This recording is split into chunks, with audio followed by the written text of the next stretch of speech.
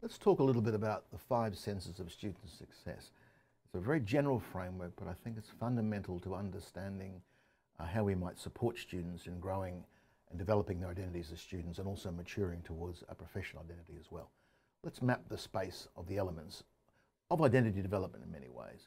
Uh, because I think in, in, in, in that below the waterline sense, who am I becoming and who am I allowed to become is fundamental to, to a successful and empowered educational experience. So there are a number of elements that we can work with independently but also collectively. Firstly, I think is a sense of capability. Um, secondly, a sense of connectedness, that's students connecting with each other. Um, and then there's a sense of purpose. Why am I here? What am I trying to achieve? And finally, a sense of resourcefulness. How do I navigate this system and how do I make my life successful given all the, all the complexities I've got to navigate? So let's drop down into what a sense of capability might mean. I think fundamentally, if we help students understand what is expected of them and help them master the basic academic skills that they're required, both in terms of the content and the process, and help them have a sense of efficacy in committing to a learning community, then very much we're helping students develop a sense of capability. Practically speaking, um, it's really about setting up learning environments where we clarify and negotiate what we expect of each other and provide them with a scaffold sense of skills that, that um, help them move forward.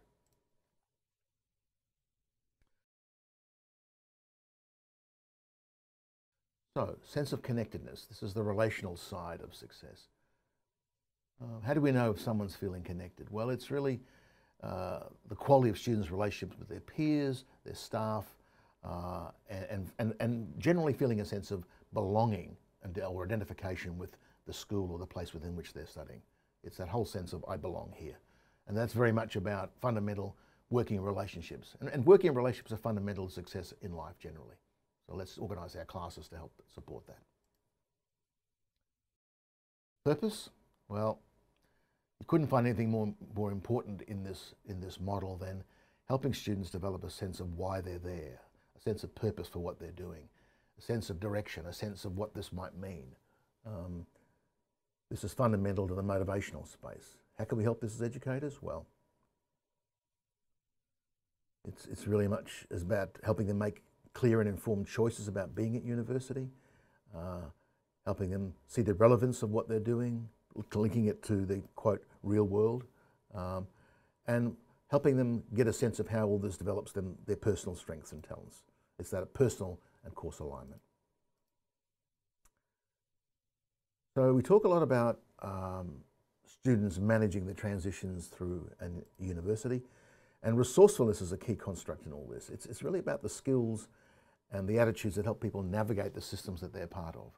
Um, and this is very much a process of not just navigating the rules of the university, but managing their whole life, if you like. How do they balance work life and study commitments to be able to be in order to be successful? Um, this is very much a meta skill of self-regulation or self-management. Once again, we can help students develop these skills by providing clear role statements about who, can, who they can go to for help and get where they can get help from, we can help the procedures and the resources of the units become clear and transparent to students. Very important. Um, and finally, um, encourage them to seek help when they need it and provide systems that won't judge them for seeking help.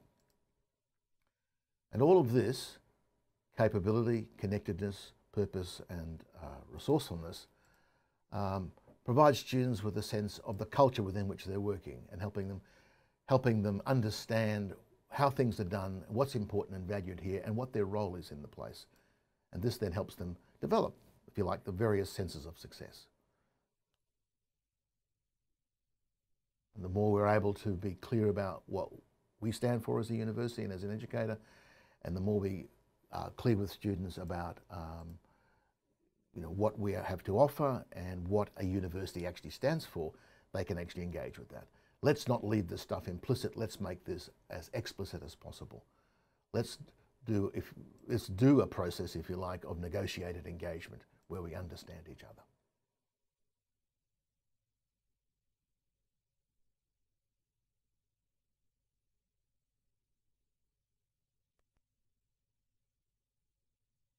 So what's the key takeaway here?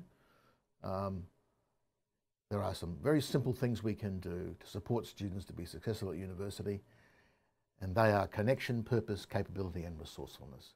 All of these build identity.